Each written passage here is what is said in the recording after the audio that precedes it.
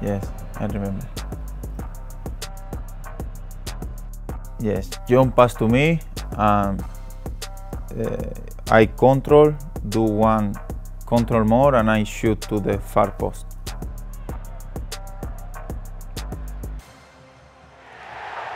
Yeah, I like so much, but not only my goals. Uh, the goals outside to the box, to the 16. For me, you need to have good shoot and quality, and every time when someone score from this distance, are very nice goal. A really important one because you won this game by one goal.